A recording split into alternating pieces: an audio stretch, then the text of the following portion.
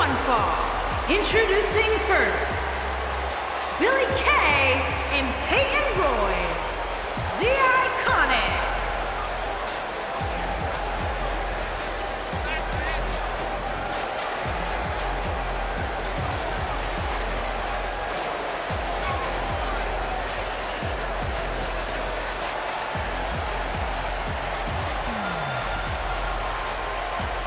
Now time for our huge six-man tag team match. And I can't think of any competitors I'd rather see go at it right now than these six superstars. This one's going to be great.